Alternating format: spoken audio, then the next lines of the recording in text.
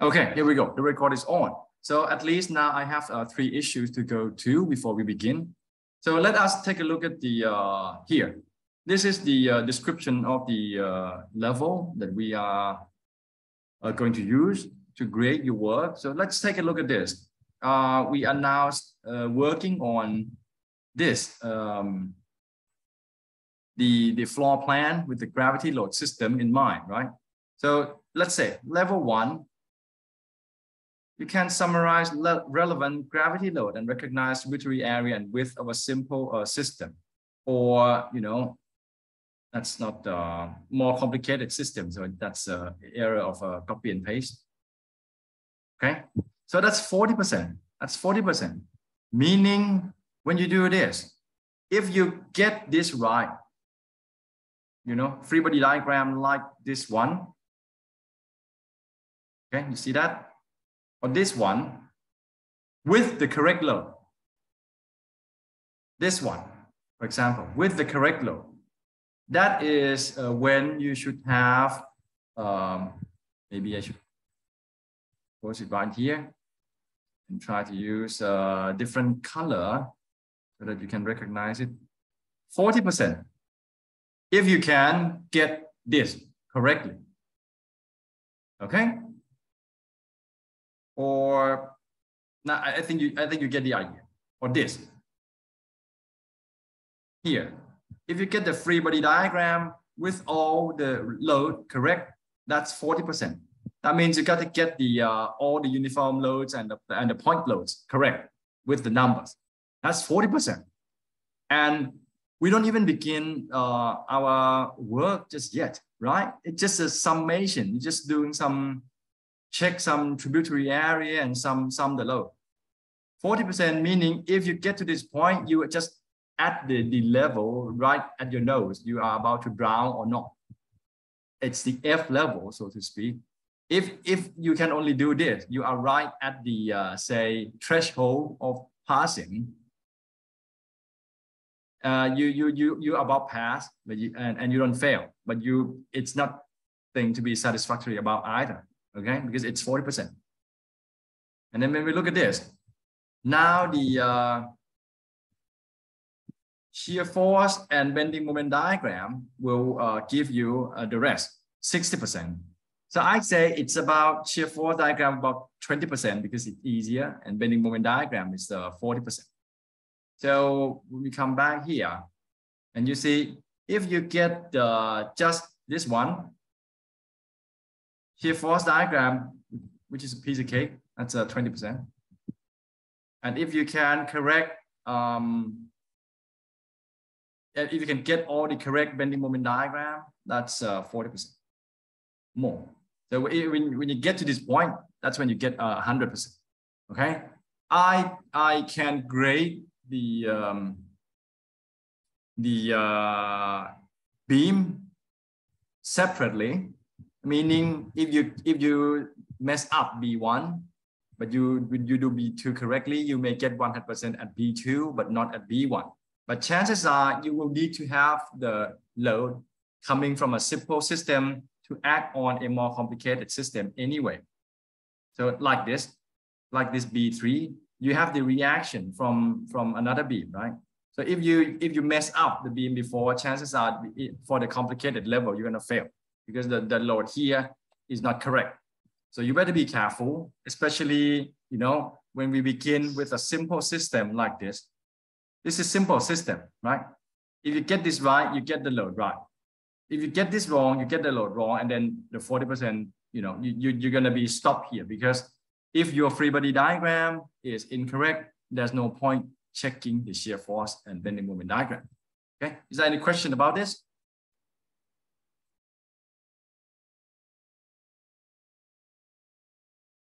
Perhaps not. Okay. Now let's move on to uh, the very popular question here. Let's say, please keep in mind that uh, you cannot analyze this just yet. Okay. So let me uh, try to summarize this for you. Generally, um, you can count how many reactions you have, right? One, two, three, four, five, and six. You have six reactions. But you can only have three equilibrium equations. You can, you can never have more than that, right? So that means you are three equations short for solving this problem, meaning you're going to have to find three extra equations are needed. We're going to come back and talk about this later on. This is what we call degree of redundancy.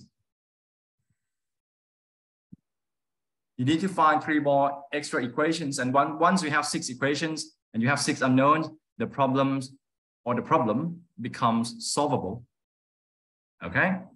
Now, uh, as we discussed a little bit before, that generally we it's a beam. You can write like this because we, we only care about the vertical load, correct?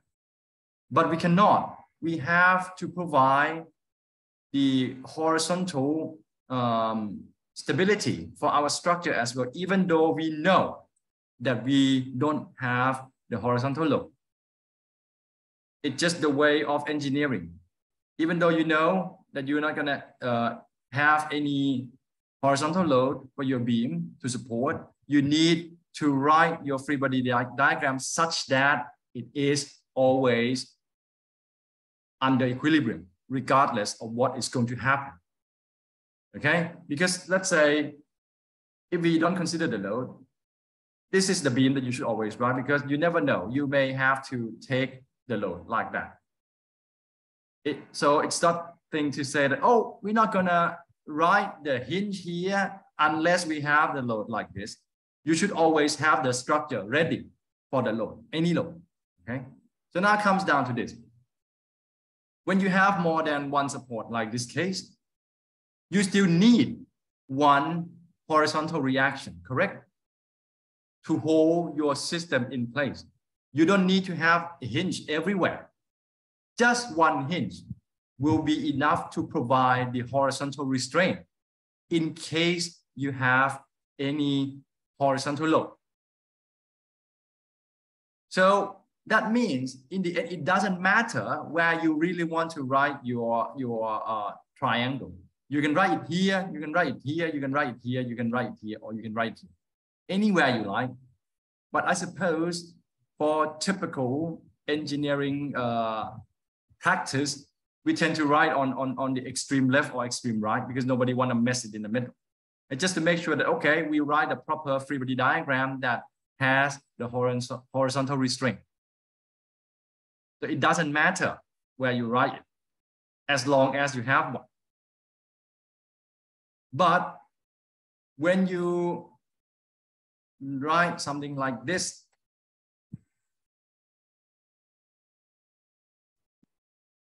Now this is different, but it different in a very complex way. Can you, can you feel that when you look at the beam like this and the beam like this, when you look at these two beams, they are not the same. Do you feel different about them? tell me tell me what you feel if, if you want to just develop your thinking system there's no right no wrong you can say they are the same you can say they are different i say both answers are correct hate that right how can we have two different answers that are both correct well well, well. it depends on on on circumstances i'd say so would you like to discuss about this? But maybe not. I will, I will um, come back to this uh, later on, very, very later. On. Now another question. I need to go back to this. Uh, your friend asked me why we don't uh, write the uh, the uh, okay this this picture is too messy. So let let, let us look at the pic uh, the, the example number two right away okay? And I'll try to explain. Uh, another question, okay? So let's say when, when you look at this, B3. You know that your free body diagram is going to look like this. Now we don't have the issue with the circle rectangle anymore, right? And when we calculate, we're going to get the reactions, right? So that's your B3. Okay. Now, your, your friend's question would be, why don't we write this red reaction on B5, right? So let me go ahead and write the free body diagram of B5.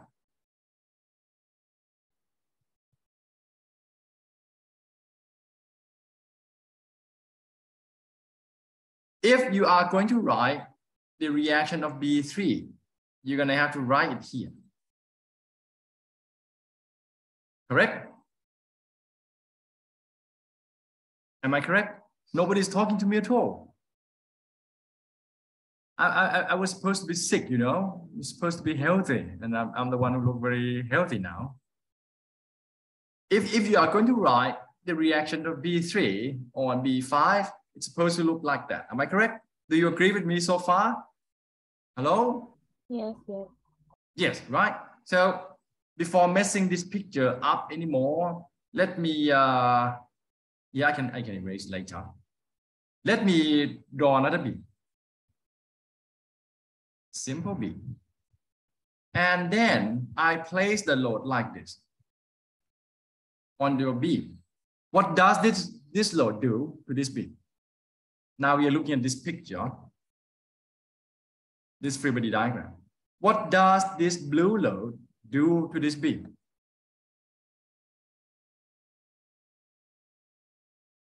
Can anyone answer? Would anyone like to try?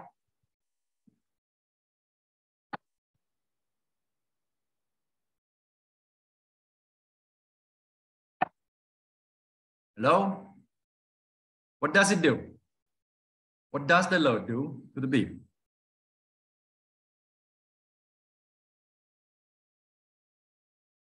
Okay. So if you want to count, if you want to analyze this beam, okay, what's the reaction? Oh, oh we have an answer from the chat. Nothing. The uh, your friend says nothing. What about what about uh, other students? Do you agree with your uh, one of your friends? I should uh, say his name, Mr. Chalam Sang. He says nothing. Do you think he's correct?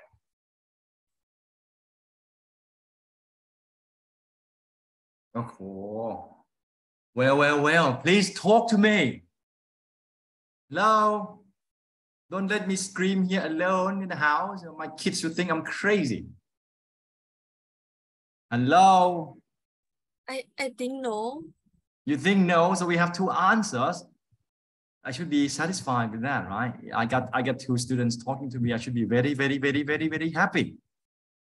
I guess you two are right because you know this load acts right on the support.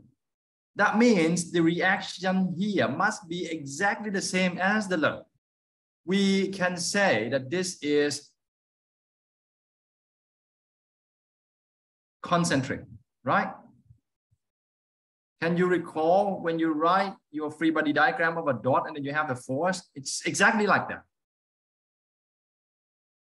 So when the when the two when the load becomes concentric like this, it just like it doesn't do anything to your beam because that means this blue point load will not create neither shear nor bending moment on the beam at all because it's concentric and this react, this red reaction is going to be exactly the same as this blue load.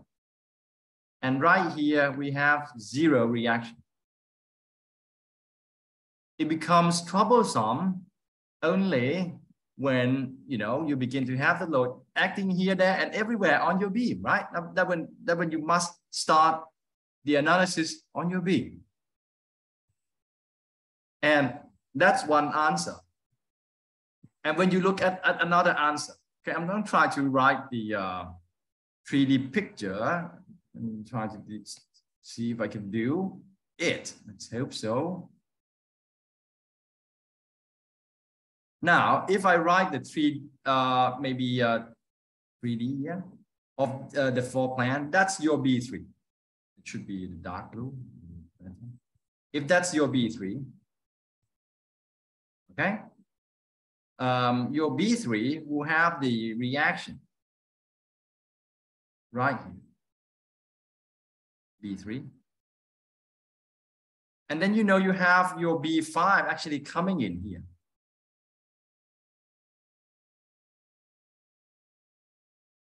All right. So when the reaction to B3 here, B5 is going to have its own reaction here as well, right? But look, look, look what this is about. This point is actually the column, right? Do you have the column there? It's a column. So I think another answer is that, you know, these two beams successfully bring the gravity load of the floor to the columns. So when the load is right at the column, that means it is ready to go down to the foundation. So the reaction of B3 is in fact right where the column is. So just have to go straight down into the column. Unlike B2, where you must know that when you look at B2 here, what supports B2? It's B3, right?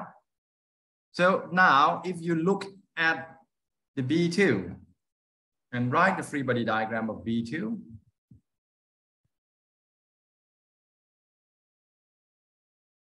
and you have the reaction you need to find the place for the reaction of B2, which in fact will be B3. So this will be on B3. But B3 itself is supported by the two columns. So your reactions are ready to go down to the foundation. Okay, so does this answer your question? Yes, yes. Okay, so I think we are pretty good to go then. So we have we have uh, discussed a little bit about problem number two or exercise number two, example number two, whatever you want to call it. So I think it's a good time that we begin. Okay. Um, I think another thing that um, students uh, tend to ask me uh, from the active session is that how do we begin? So I, I, I say we begin by taking a look at the entire system and trying to find the support for everyone. Okay. So if, if you want to take notes, I'm going to give you a minute or two to, to take notes on this because I'm going to erase all of them and, and start my work on, on, on this floor plan. Okay. Let's see, uh, let's give you guys a minute or two if you want to, take notes. I'm trying to look for, okay, got it.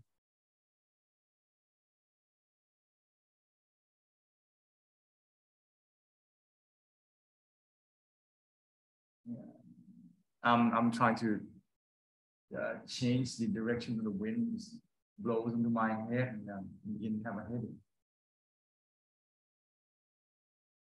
Okay. So you guys ready? A any more questions? Please, you know, I, I always insist that the, the worst question is the question that you keep to yourself. Don't be afraid to ask questions thinking that somebody may think that, oh, your question is so silly. I already know that. It, it, it doesn't matter if anyone else knows the answer. But if you don't know the answer to that question, you better ask. Okay? So, I suppose no question?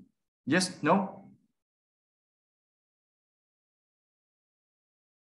Okay, so um, is it okay that I'm going to erase everything now? Hello?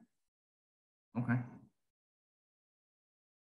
It's kind of nice picture, but I think I need the space in the video anyway.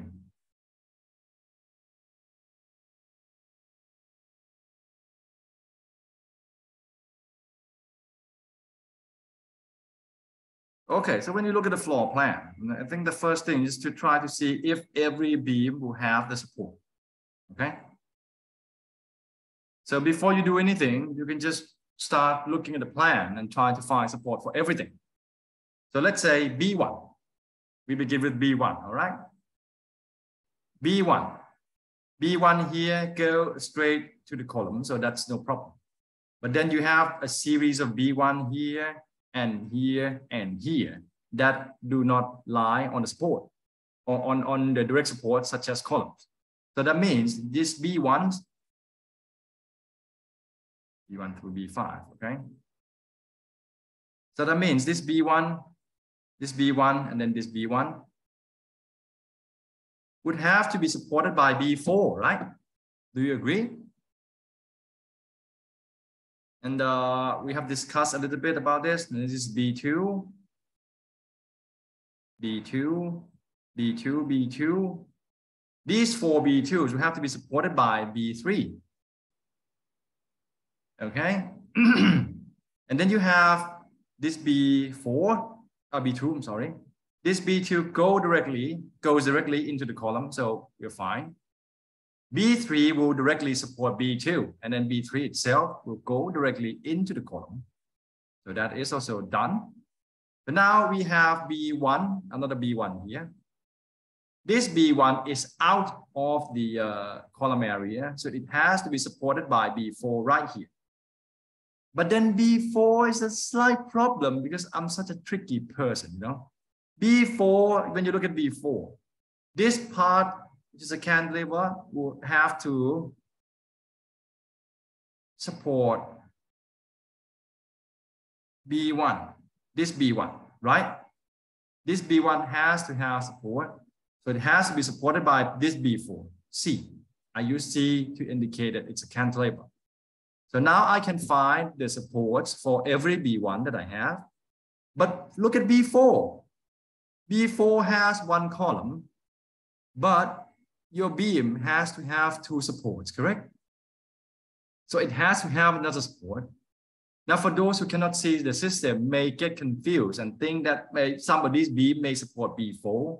But when you look at these B1s, when you look at these B1s, they don't have the support themselves. So they have to be supported by B4. So you cannot use B1 to support B4 because B1 themselves don't have support. B4 in turn, we have to support B1 and then again, B4 only has one direct support at the column, meaning we have to give another support to B4 coming from this B5C. So when you look at this, B5 here is supposedly the most difficult one because it has to carry the flow on both sides with, you see, unequal space. On the left, uh, I can, yeah, try to use different color. On the left, it has to carry this flow, right? So carefully. On the left, it has to carry this floor. On the right, it carries only this much.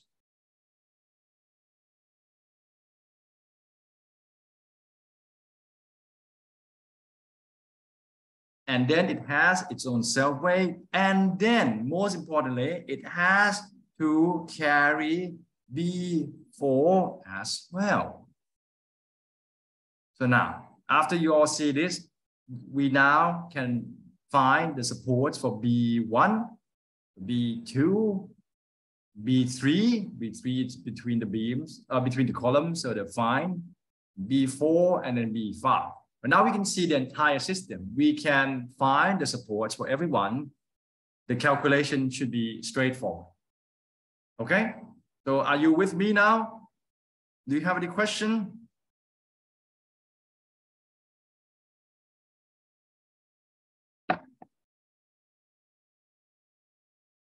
Hello? Okay. To really look at the chat. No crap. No crap. Okay. So that means everything is Crystal clear. We're ready to move on, right? Uh, I have uh, 20 minutes before the next break. So I suppose at least we can finish um, B1, B2, or maybe B3 as well. Okay, so let, let us begin, shall we? I need to erase this a little bit. Okay, so you may, I, I think I may do well and uh, help you understand things better if I try to write the, the um, tributary width on the B. Okay, so let's, uh, let's take a look at the typical B1, okay? Any B1, let's say uh, we are gonna focus on this, okay, B1. If we look at this, the tributary width on the left will be half of this. And on the right will be half of this.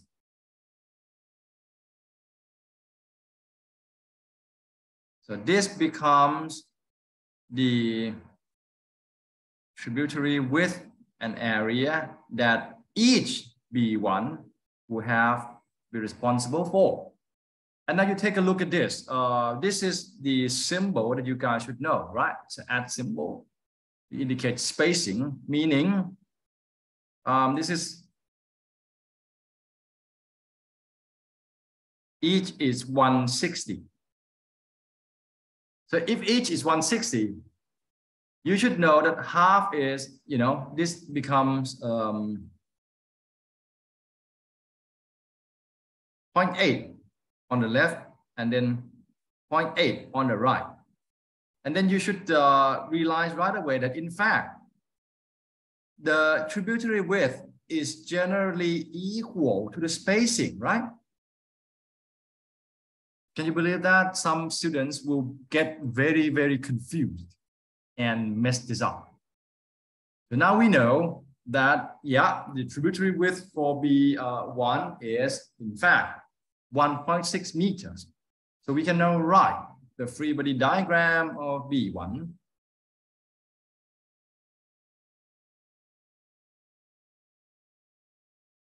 Um, please include all the relevant information such as the length, 8 meters,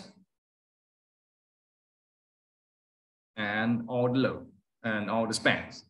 Now this is going to be 1.6 multiplied by the dead load plus live load. You can see there it's 400 plus 500 and then self weight 300. Okay, I don't have the calculator with me. Uh, I, I, you know, I always come empty handed. So if you could help me out, I'm going to use the iPhone. It's uh, 900 multiplied by 1.6. It's 1440 plus 300. So that's 1740 kilogram per meter. Okay? Any question? Pretty straightforward, right? And again, when you're up to this point, I should use different color like this. If you if you get this, you already have 40% according to our rubric. Okay. Now, if it's all quiet, you know, please don't spend too much time on this, okay? Because you know, shear force diagram is, don't mess it up. And bending moment diagram is that. Okay? And of course, you should know that this is uh, WL over 2, and this height is, of course, WL square over 8. It should take just less than a minute to complete this. This becomes 1740 multiplied by 8 over 2, or in fact, multiplied by 4, right? How much is that? So it's uh, 6960 kilogram force by this is 1740 8 square over 8. So that goes like that. So you just multiply that by 2 again. So your moment is 1309, sorry, 13,920 kilogram uh, meter. Okay, see, simple beam takes like less than a minute. Do it. And I'm not doing this to discourage you. I'm doing this to encourage you that this is what you need to be able to do. This is what you should be able to do. Okay? So we're done with B1. Any question? Remember that we are going to have to place this um, different color again reaction on B4. So you better get it correct. And it will be very, very sad because I believe everybody knows that this is easy. But when you need to perform, somehow, you know, sometimes just mess it up. Okay, so we can move on to B2 now, I suppose. B2, the free body diagram is pretty similar to uh, what we have for B1, I think because it's a simple beam too. Oh, you know what? I should write B1 here. Mm -hmm. B2. B2 is uh, 5.6 meters long.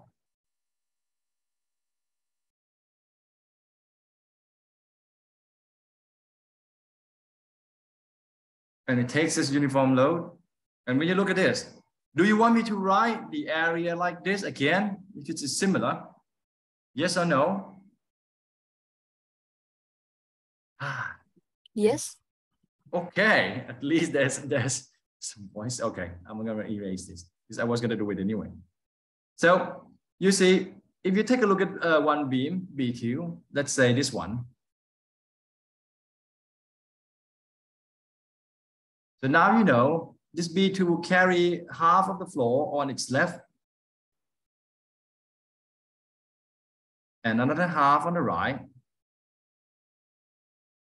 So that becomes its tributary width and area, right? And again, um, if the spacing here is, you know, like the like indicated here is 1.2. Right here on the left half is 0.6, half of that spacing. On the right is also another half. So in the end, yeah, it is 1.2. Okay, so here is 1.2 multiplied by uh, 400 plus 500 like that, and then with the self weight. Okay, that's about how much. Hey, you, you guys should uh, try to punch calculator while I'm working as well. Just maybe I'm a human being. I could be wrong as well. Just uh, let's help each other out. So that is one 380 kilogram per meter. You get the same number? Yes. Yeah, good. Yes. Okay, good. Thanks. Uh, thanks, everyone. Let, let, let's go together, okay? So again, it's a, it's a repetition because you now know that the shear force diagram is going to look like this. And the bending moment diagram is going to look like that. This is a gimmick. And this can WL over 2. This height is WL square over 8. This is 1380 uh, multiplied by 5.6 over 2. Now be mindful that we change the beam, so the, the little thing is different. This is 1380, uh, 5.6 square over 8. So for this, um, basically it's, uh, so that's uh, 3864 kilogram force. And here,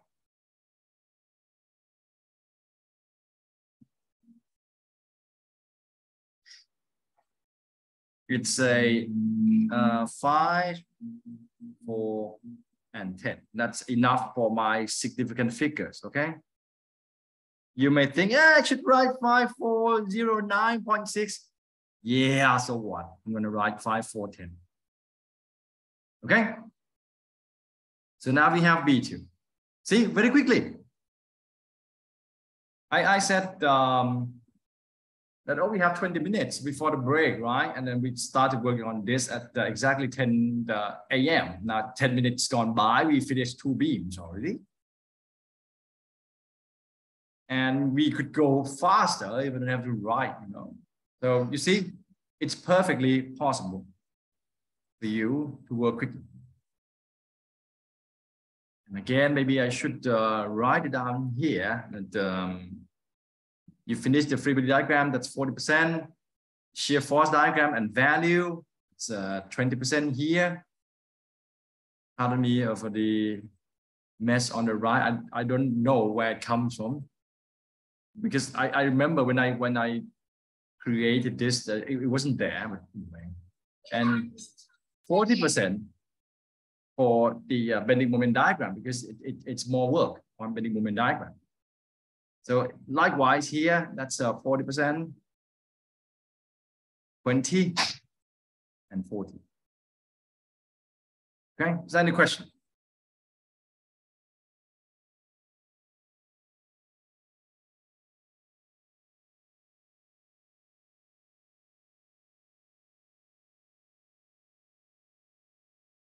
No? Okay. So uh, we still have a lot of minutes left.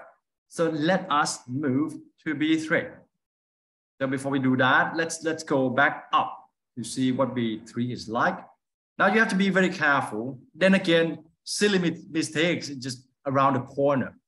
When you make silly mistakes, stupid mistakes, that doesn't mean that you're stupid. But what, what you committed was quite stupid, you know, at the time. Maybe because you didn't have enough sleep, maybe you were concerned about some other things, whatever. So you, you, need, you need to keep your concentration high. Remember, this stuff is not difficult. Sometimes it's all about your concentration. So when you look at B3 now, hmm, yeah, that's B. So you, you, you, you should do well to try to count how many B2 you actually have now we're gonna have like how many?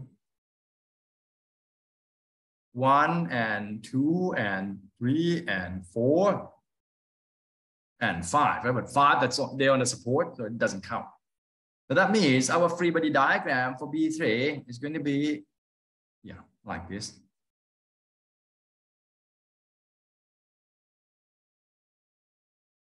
Okay, and then I'll try to put the reaction from B2 equally. Ha, beautiful, isn't it?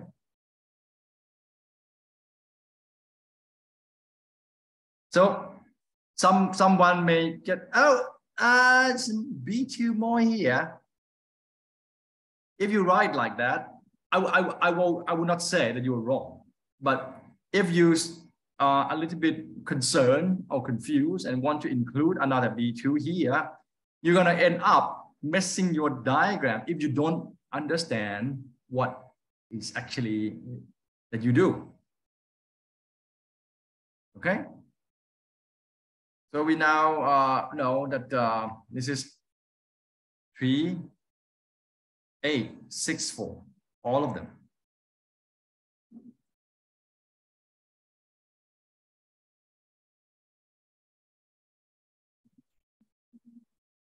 You may want to choose to write this as a P, you know, you can say, okay, it's P, P, P, and P. And then you write somewhere here that P is equal to 3864. It's up to you. Okay, so remove that. Otherwise, it's too much. Are we done with B3? Are we or are we not?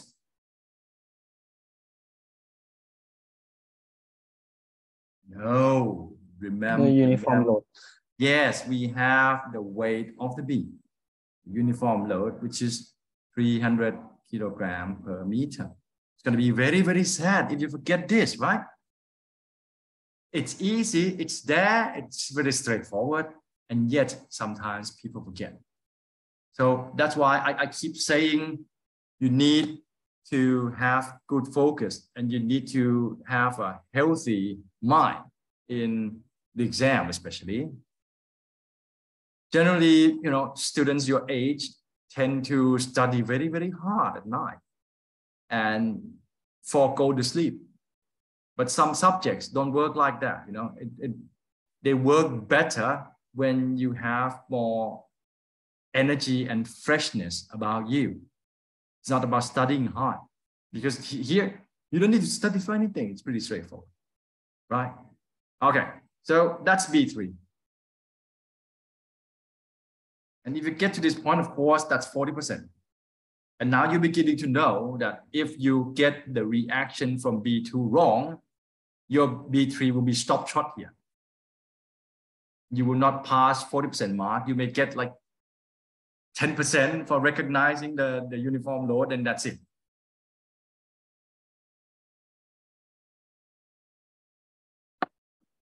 And be careful. Um, it's six meters, right? Be careful with, because I've seen all kinds of error. Here is six meters. And you see, it's, it, it's gonna have the relationship with this because right here, your tributary width is 1.2 meters. So this better be equal to your tributary width, right? So it is 1.2 uh, meters. Now we have that. So you think you're gonna have a problem calculating reactions? I find it, uh, you know, it becomes troublesome for some students but when you see a situation like this, is B3 symmetric? Is it symmetric? Can anyone answer that? Do you know what? Yes. Yes, it is. So when you have a symmetric situation, it means that there are some things that you can easily take advantage because you know that the reactions going to be equal on both sides, right? That's the first one. Am I right? If, yes. Yeah, if it's symmetric, it means you can split everything in half. So again, that means I can easily calculate the reaction here. Because if, if everything splits in half, it means that I have 3864 multiplied by 2, right? because the left will take two point loads, the right will take two, plus 300. That's the uh, uniform load multiplied by three. That's my reaction. Do I really need to take moment?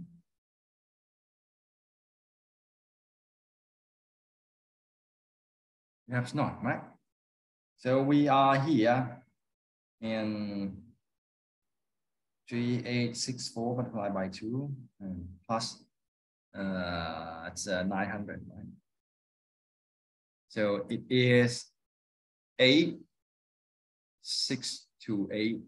You may want to work with this number to get the, the, the, the precise uh, shear force and bending moment diagram, but you may want to write down like 863. Okay. So before we begin the uh, shear force and bending moment diagram, I think it's a high time that we take a 10 minute break. So any question before we take a break?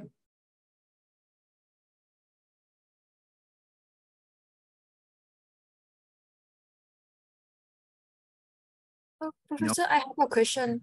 Yes, please. Oh, like in the exam, when we write our calculation, do we need to start with like a sigma if f equal to zero, like equilibrium equation, or we can just write like how you did? Oh, actually, you know, I'm not a person who mind that kind of thing very much. You, you can tell by the way I write, right?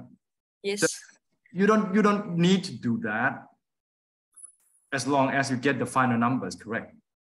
Oh, Yeah, but you know that that is a pain when you don't show anything supposedly because some students who you know coming into my class once I say that because this is you you're not the first one who asked something like that. But I said you don't you don't need to show anything. When when I ask you to draw the shear force and bending moment, moment diagram, they, they would ask, do we, do we need to, to show the calculation? I said no. And then here come just the diagram. And then if something is wrong and I cannot backtrack the calculation. I'm just gonna,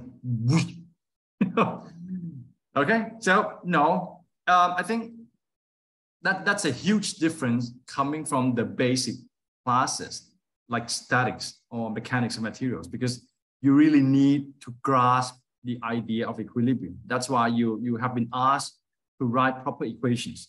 But for me, this is uh, the beginning of the advanced class. You should have those basics stored within you already. So you don't need to show me that you have the proper basics. I don't need your basics anymore. I need your advanced calculation. Okay? okay. Thank, thank you, Professor. Cheers, cheers. All right, so uh, I'm gonna stop the record.